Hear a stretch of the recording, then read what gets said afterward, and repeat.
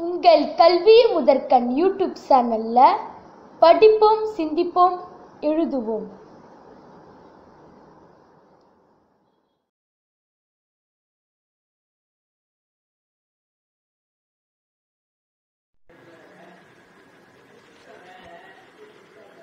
Alice had a collection of toys in her nursery.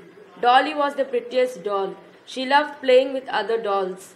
One morning, when Dolly woke up, she saw her face in the mirror. She was horrified to see her face.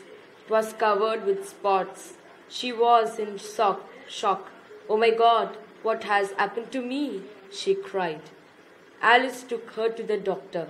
The doctor advised Dolly to take a rest for a week and not to go outside. It was a big blow for Dolly. She had to stay in bed the whole week. Alice told her other toys to visit Dolly and cheer her. They also brought flowers, chocolates, and books for her. But Dolly was again sad when they left her. She missed going out to play with her friends.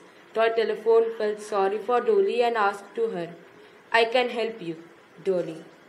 You can use me to talk to your friends for an hour daily. That way you will not feel bored. Dolly thanked her friend Telephone for his generosity. Thus Dolly could talk to her friends and she never felt bored again. இந்த video பிடிச்சிருந்தா மறக்காம like பண்ணுங்க share பண்ணுங்க subscribe பண்ணுங்க கல்வி முதற்கண்ணில் bell icon press பண்ணுங்க